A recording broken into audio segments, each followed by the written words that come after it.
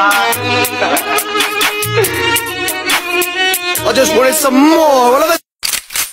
I think I didn't say rich to get to this.